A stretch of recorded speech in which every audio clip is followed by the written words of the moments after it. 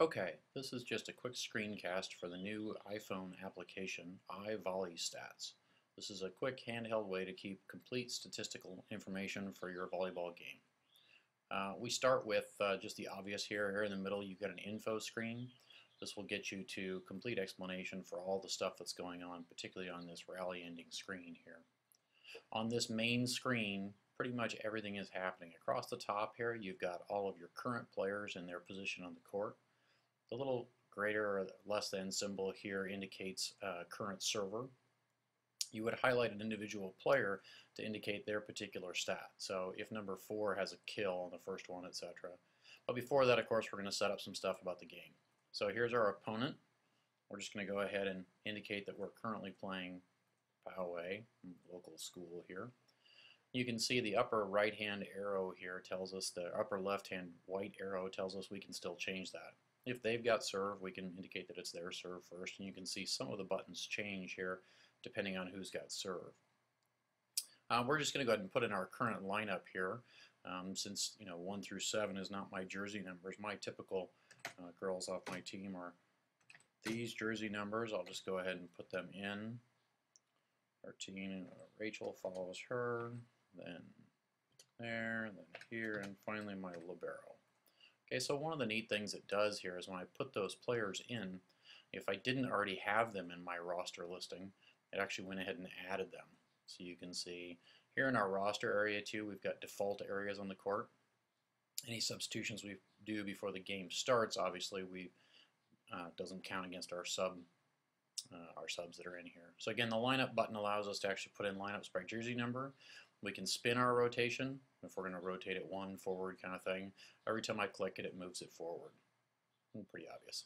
Okay, so now our in-game stats here as we're going through a game. Let's say, um, you know, our first server goes back and we get an ace right off the bat. You can see down here in this area, we're actually indicating the last couple of actions that have happened. So number 20 here served an ace. So even though I had 15 selected, um, obviously it knows that our current server was jersey number 20. She served for an ace. Updates our current score. The uh, upper left hand white arrow here indicates that if we click on this, we're going to go ahead and start a new game. Right? So we're going to get started a new game. Of course, we just started doing this game, so we're going to leave it alone. You'll also notice that the upper left-hand arrow here off our serve is now gone because you know it's going to track who's serving now. I can't change that. Okay, so let's just say um, we come back here and uh, number our current front row would be, of course, the next three kids in front of our current server. So 15 goes up and she gets a kill. Okay, so now we've got 2, 0 for us. The 0 out here indicates how many subs are left. You can see the last couple actions down here. Any buttons that are written with white text require a person to be selected or a player to be selected. Any of them with the dark gray text um, either don't affect the point, as in these three down here, attack, attempt, block, assist, and dig. They don't actually generate a point, or they don't require a player to be selected. Ace and service error, general error, and opponent error. In As an overall kind of rule of thumb, everything here on the left-hand side are points that are going to, or buttons that are going to generate points for our team. Everything on the right hand side and in this other color are points that are going to generate for the other team. Um, okay, so let's say we have a service error and then we come back and you know number 16 now gets a kill. You can see the last couple things update here obviously. Now it also moved our current server over, right? So one of the things now when we flip to our team stats, you'll see all the individual stats as well as the totals aces and our errors, our service errors. We've actually attempted serving three times. We've had two kills, two attacks for 100%.